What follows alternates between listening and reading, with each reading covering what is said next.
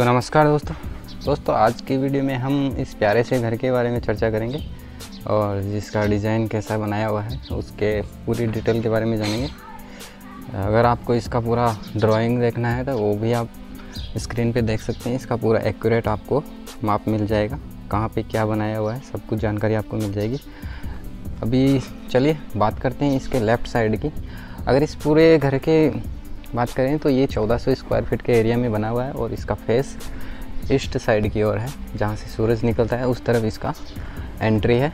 तो इसके left side में देखिए, इसे बारी के पास में कुछ अच्छी सी डिज़ाइन क्रिएट की हुई है, जो कलर होने के बाद काफ़ी अच्छी दिखेंगी। आपको पीछे की साइड जो आप एरिया देख रहे हैं वॉशिंग एरिया आ जाता है। यहाँ पे देख रहे हैं, ये किचन विंडो आ गया। उसके बाद ये दो विंडो आप देख रहे हैं, ये हॉल के लिए आ गया। चलिए अब चलते हैं एंट्री की साइड तो इसका अगर फ्रंट व्यू की बात करें तो वहाँ पे जो लास्ट में आप देख रहे हैं, वो एक बेडरूम आ जाता है, जिसका विंडो इस तरीके से डिज़ाइन किया हुआ है। दूसरा अगर इसका पूरा एलिवेशन देखें तो ये कुछ इस तरीके से दिखता है।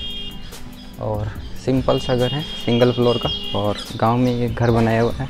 उसके बाद नीचे से अपन चार स्टेप चढ़ते हैं तो इसका एंट्री आ जाता है। एंट्री में एक हॉल का विंडो आ गया, ये मेन गेट आ गया।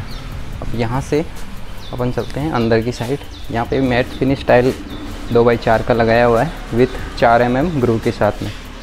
और यहाँ से एंटर करते ही आपको मिलता है एक बड़ा सा हॉल जो बहुत ही ज़्यादा स्पेसफुल है। आपको डाइनिंग का एरिया भी यहीं पे मिल जाता है।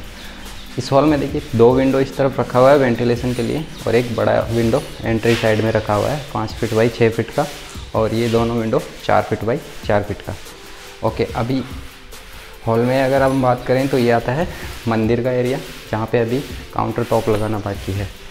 और इसके राइट में अगर हम देखते हैं तो स्टेयर कैस आ जाती है, जिसमें राजस्थानी ब्लैक ग्रेनाइट यूज़ किया हुआ है। और इसके नीचे कुछ स्टोरेज है जो अपने सामान के लिए यूज़ कर सकते हैं। दूसरा अगर इसके राइट साइड में देखें तो एक बेडरूम आ जाता है बड़ा सा। और उससे पहले एंटर करते ही आपको मिलता है एक बड़ा सा बाथरूम चार फिट बाई साढ़े सात फिट का, जिसमें फुल सीलिंग टाइल फिटिंग किया हुआ है तो दो बाई चार फिट का। ओके अभी बेडरूम देख लेते हैं। तो बेडरूम का जो साइज़ है, वो 12 फीट बाई साढ़े दस फिट का है और इसमें दो विंडो रखे हुए हैं वेंटिलेशन के लिए, चार फिट बाई साढ़े चार फिट का।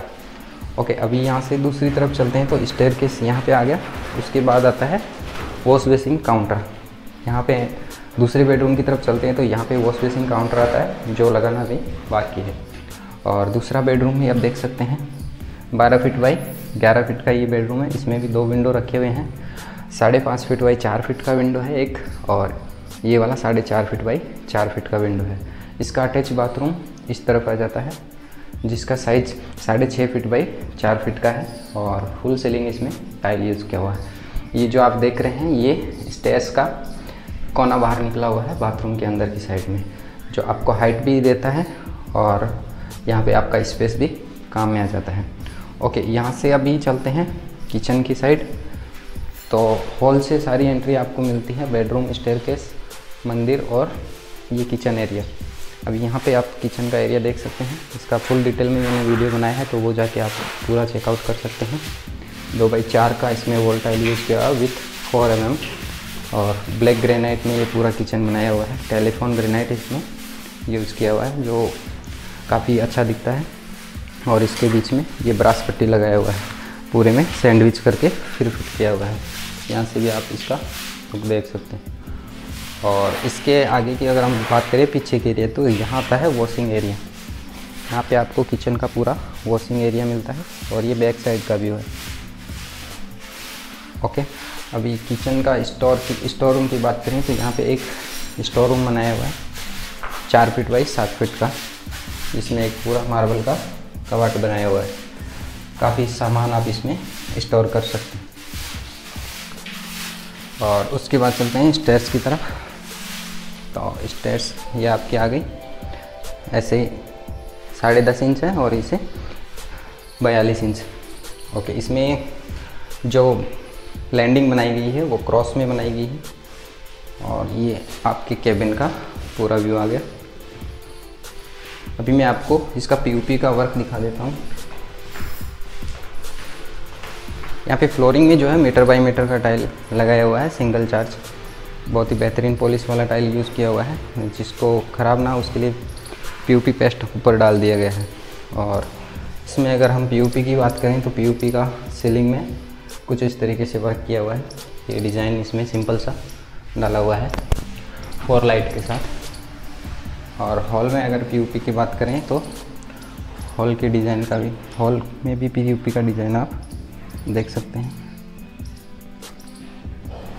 और सेकंड बेडरूम में अगर हम पी की बात करें तो इसमें भी फॉल सीलिंग लाइट के साथ पी का फॉल सीलिंग बनाया हुआ है, काफ़ी अच्छे से। ओके और अब चलते हैं किचन पी वर्क की। तो किचन में भी सिंपल चार दीवार के साइड में दो फीट का फॉल सीलिंग में ओके तो ये था एक छोटा सा होम डिज़ाइन जो बताना चाहता था मैं आपको। कैसा लगा मुझे कमेंट करके ज़रूर बताना। बाकी अगर आपको कोई इसके बारे में डिटेल जाने हो तो मुझे कमेंट ज़रूर कर देना। मिलते हैं अगले वीडियो में तब तक के लिए टाटा बाय बाय